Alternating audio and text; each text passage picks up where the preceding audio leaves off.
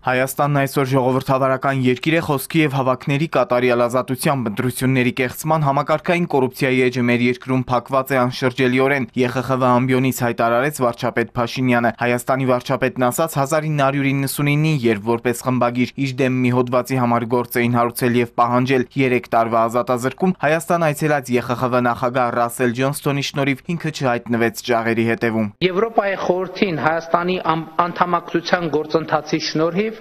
1999-2000 թվականներին ես չհայտնվեցի բանտում։ Լեռնային Ղարաբաղի հակամարտությունը շարունակում է կարևորագույն մարտահրավեր մնալ Հայաստանի եւ ընդհանրապես տարածաշրջանի համար։ ԵԽԽՎ ամբիոնից Հայաստանի վարչապետը հայտարարեց, Ադրբեջանի նախագահի հետ կարողացել են կառուցողական եւ դրական երկխոսության հասնել, բայց սա բավարար չէ հարցը կարգավորելու համար։ Հակամարտության 30 տարիների ընթացքում մենք կարծես պիտի սպառած լինեինք ատելության ու հայհոյանքի բարերը եւ պիտի իրար օգնեինք հասկանալ միմյանց դիրքորոշումները պիտի փորձեին գտնել այն պատճառները, որոնք մեզ թույլ չեն տալիս լինել իրար հասկանալի։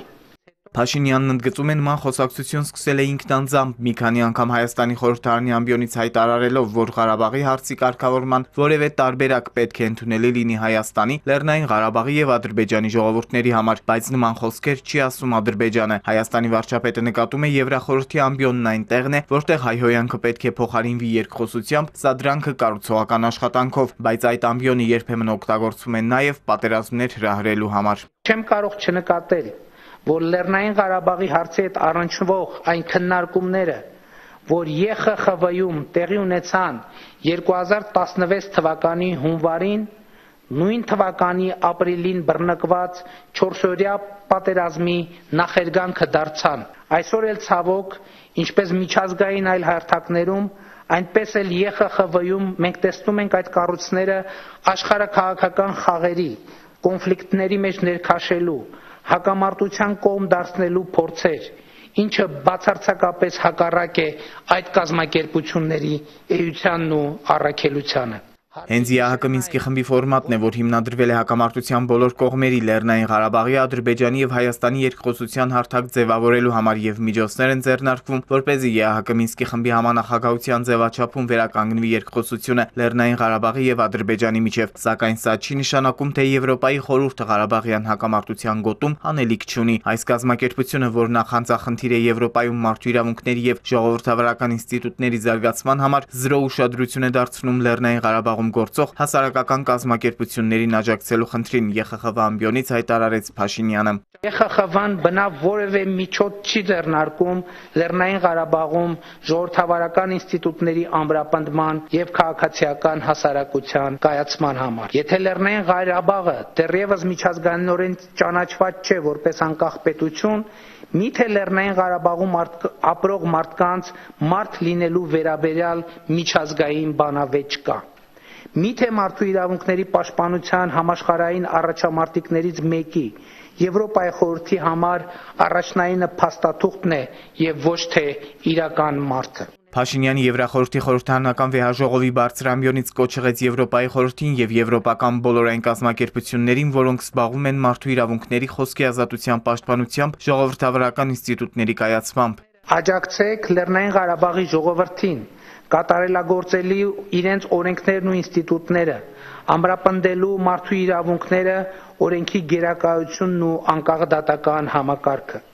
Դրանից շահելու է քաղաքացին, մարդը, Մեզ հաջողվել է երկրից արմատախիլ անել համակարգային կոռուպցիան վերացնել մենաշնորը, օրենքի առաջ հավասարության պայմաններ ստեղծել, ասաց Փաշինյանը։ Մենք ամենօրյա ռեժիմով կրճատում ենք ստվերային տնտեսությունը։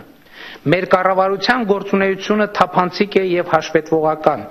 եւ մեր իշխանությունը բխում է մեր ժողովրդի ազատ կամ արտահայտությունից։ Նիկոլ Փաշինյանի եւ ԵԽԽՎ պատվիրակների միջև հարց ու պատասխանի զգալի մասը վերաբերում էր Արցախին։ Փաշինյանն ասաց, որ Երևանը Բաքվի հետ իր հարաբերությունները պատկերացնում է խաղաղության օրակարգի շրջանակում։ Ադրբեջանցի պատվիրակի Արցախն օկուպացնելու վերաբերյալ հարցինի պատասխան Նիկոլ Փաշինյանն ասաց, մեր քայլերն ուղղված են նրան, որ ՀՀԿ Մինսկի խմբի շրջանակներում վերականգնենք երկխոսությունը Ադրբեջանի եւ Լեռնային Ղարաբաղի միջև։ Շատերը չգիտեն, բայց նաեւ Լեռնային Ղարաբաղի եւ Ադրբեջանի ղեկավարի միջև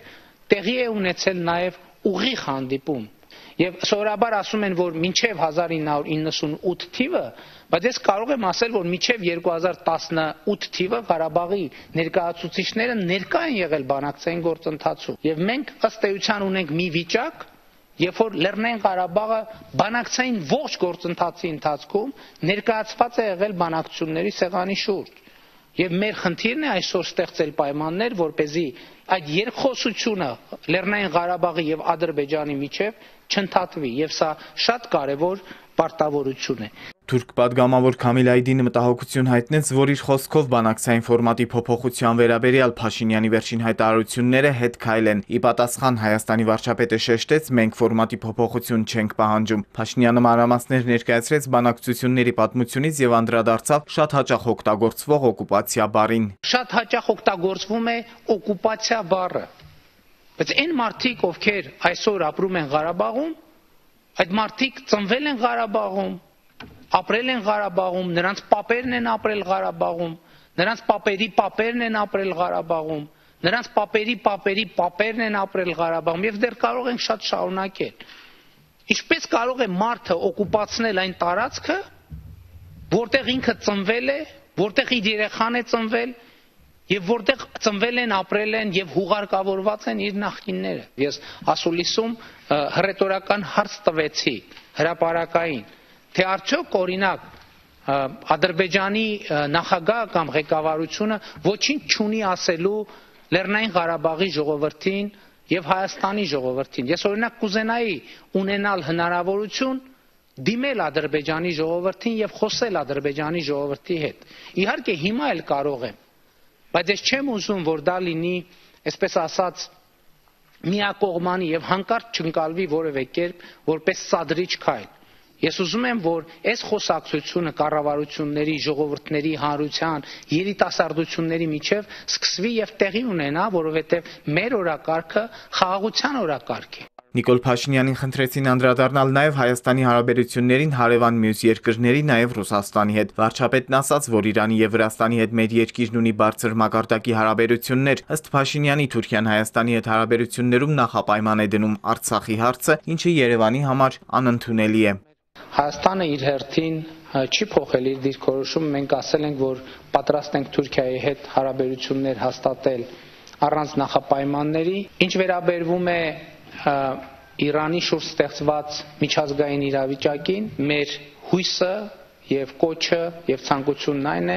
որ քաղաքական հակասություններ ինչպես այլ դեպքերում, այս դեպքերում էլ լուծվեն երկխոսության տրամաբանության մեջ։ Ռուսաստանի հետ մեր հարաբերությունները կրում են ռազմավարական բնույթ եւ մենք ամեն ինչ անելու ենք այդ հարաբերությունները զարգացնելու համար Եվրոպամետ եւ ռուսամետ լինելու մասին։ Ես ինձ համարում եմ Հայաստանամետ գործիչ Եվ կարծում եմ, որ ֆրանսիացի գործիչները պետք է լինեն ֆրանսիամետ, ուկրաինացիները ուկրաինամետ, ռուսները ռուսամետ։ Ոչ մի օտարերկրյա ուժ ներգրաված չի եղել Հայաստանում կայացած հեղափոխությանը։ Ու սխալ է ասել, որ այն գույնի հեղափոխություն էր, եղել է սիրո եւ համերաշխության հեղափոխություն, ասաց Հայաստանի վարչապետը։ Բացառվում է, որ որևէ մեկը կարողանա ցույց տալ որևէ արտաքին ուժի ներգրավվածություն մեր ներքին գործընթացների մեջ։ Եվ սա միշտ ասել եմ, որ մեզ համար կներեք ազգային արժանապատվության խնդիր է եւ անձամբ ինձ համար էլ անձնական արժանապատվության խնդիր է Ժողովրդավարությունը բխում է մեր ժողովրդի մտածելակերպից Հայաստանի հեղափոխությունը որևէ երկրի դեմ չէ։ Հայ ժողովուրդը հեղափոխություն իրականացրել է հանուն իրազատ ու երջանիկ ապագայի եզրափակեց Փաշինյանը։ Վոլոդիա Հովսեփյան, Էպիկենտրոն։